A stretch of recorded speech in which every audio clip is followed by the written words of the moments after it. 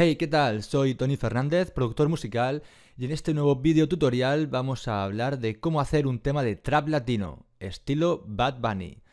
Aquí os voy a enseñar el resultado final de lo que yo he hecho y luego os lo, os lo pondré con la referencia, que esta vez he escogido la de sensualidad, de Bad Bunny con Prince Royce y J Balvin. Y ahí vais a ver la diferencia que hay entre ambos.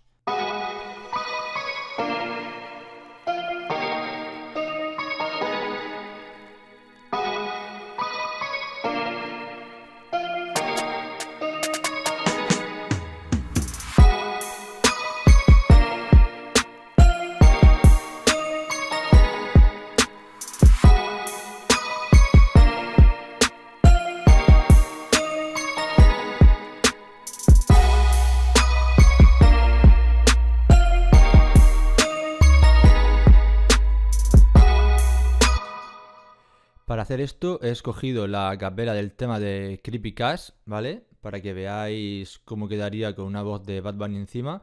Y así os haré, os iré enseñando la referencia y lo que he hecho yo con la capela de Bad Bunny para que veáis que prácticamente se asemeja bastante.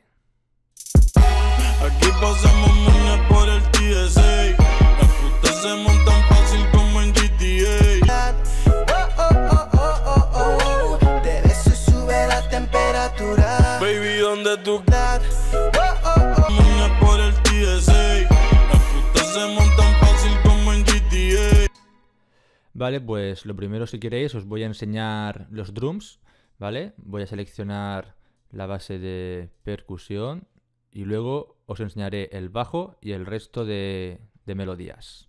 Bueno, pues los drums lo que he hecho ha sido, eh, he puesto los mismos que, que en la referencia, ¿vale? Son exactamente la misma posición tanto del snare como del bombo y sería tal que así.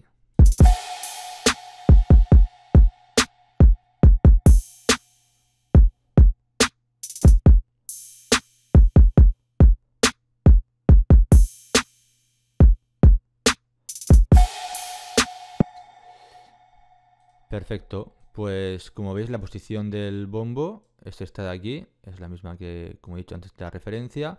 En el snare he usado dos capas de snare, la primera sería esta.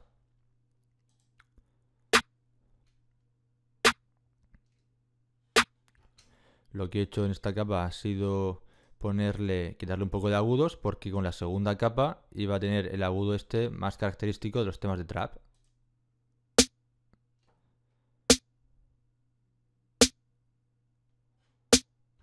Y si juntamos las dos capas, pues tenemos el sonido que queremos.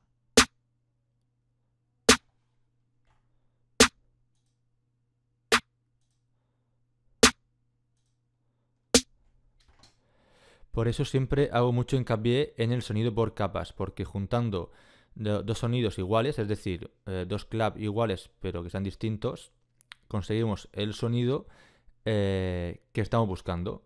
Si utilizamos pues dos kicks, si utilizamos dos snare, pues conseguiremos siempre un sonido más gordo, un sonido más cercano al resultado que, buscamos. Luego pues aquí nada, un ride, igual en la misma posición que la referencia. Un redoble de hat.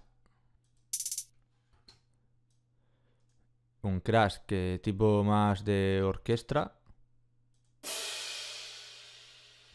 Y aquí le he aplicado un cencerro con un poco de reverb. Que la verdad es que a mí me gusta bastante. También, para darle un, rollo así más analógico, pues le he puesto el ruido este de vinilo.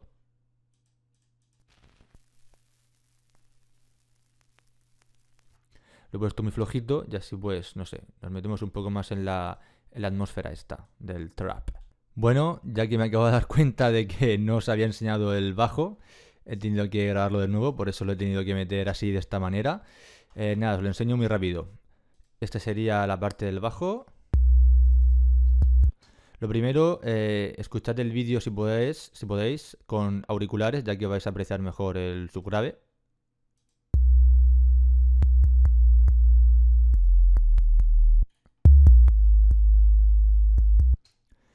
El bajo lo he creado yo con Masi, he hecho yo el preset Si queréis, en la descripción os lo dejaré, el preset este del subbajo, que la verdad es que queda bastante bien para, este tipo de temas de trap. Y bueno, eh, le he aplicado un poco de ecualización en los 30 Hz para que tenga un poco más de grave, como siempre he explicado en otros tutoriales, con emulación analógica, que en este caso es este plugin de Waves. Luego he comprimido un poco para darle un pelín más de cuerpo. Y he utilizado una compresión sidechain para que cuando entre el bombo pues no se estorben tanto, ya que ambos quedarían así.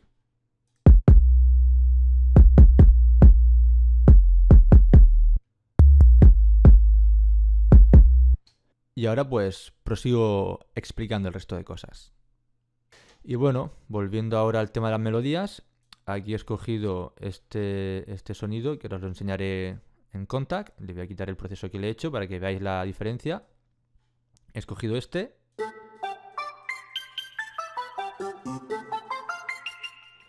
Vale, sonaría así, lo que es la progresión de acordes con las notas que le he puesto. Voy a ponerlo aquí para que lo vayáis viendo mientras.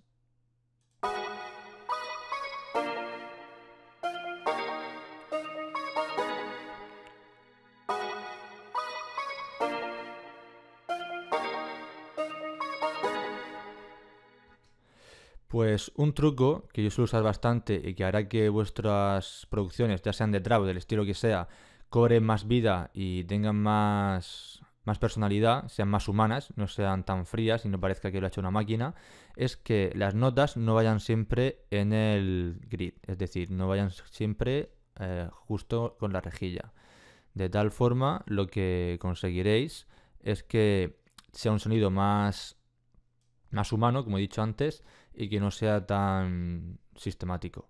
Luego el tema del velocity también podéis jugar, veis que las notas no están todas al mismo, al mismo volumen, eso también hará que sea mucho más natural. Por lo tanto, eh, creará una producción mucho más viva y, como he dicho antes, mejor que no una producción que sea más fría, que toda la rejilla, todo tan perfecto. Siempre se busca un poco el error, entre comillas, humano, que es lo que hace que sea más natural la producción. Vale, pues también lo que he hecho, le he puesto una cinta para que tenga también ese color más analógico. Le he puesto un saturador de guitarra y le he aplicado una reverb, la reverb de Valhalla. Por lo tanto, después de todo esto, quedará así.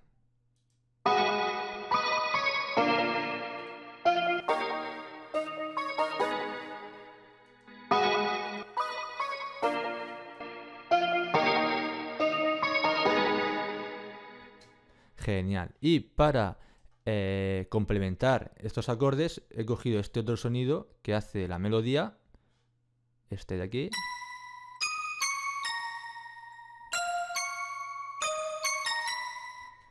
Que como podéis ver es un sonido, según pone aquí, es como de un vaso, bueno, de cristal, por así decirlo.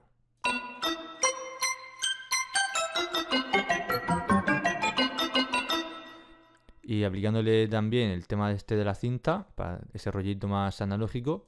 Y en esta ocasión no le he puesto la distorsión de guitarra, porque me gusta que fuese más natural. Veis que con la distorsión de guitarra quedaría así.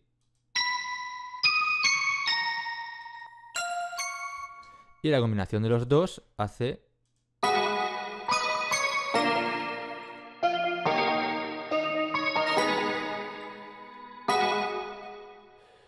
Y nada, creo que ya está todo. Vamos a ponerlo si queréis por última vez.